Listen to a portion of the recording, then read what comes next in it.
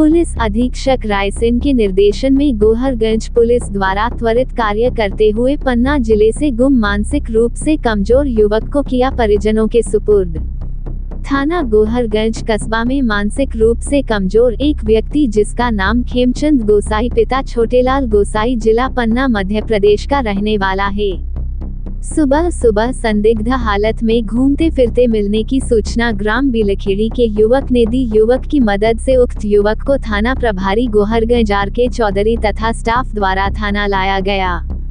जो कि इस कड़कड़ाती ठंड में परेशान तथा भूखा प्यासा बद हवास डरी, सहमी हालत में होने पर सबसे पहले चाय नाश्ता कराकर गर्म कपड़े, कंबल आदि की व्यवस्था की।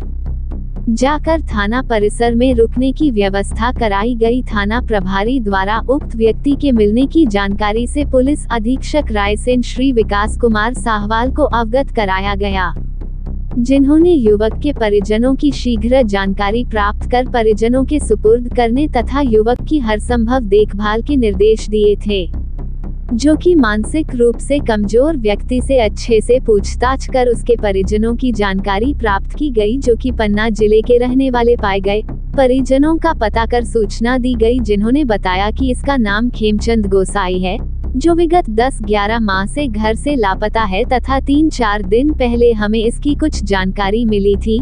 थाना गोहरगंज में उक्त युवक के होने की जानकारी मिलने परिजन खुशी से झूम उठे और थाना गोहरगंज पुलिस स्टाफ सहित वरिष्ठ अधिकारी को धन्यवाद दिया। तीजा है, ये हमारा लापता है चार दिन से इसको ढूंढ रहे थे।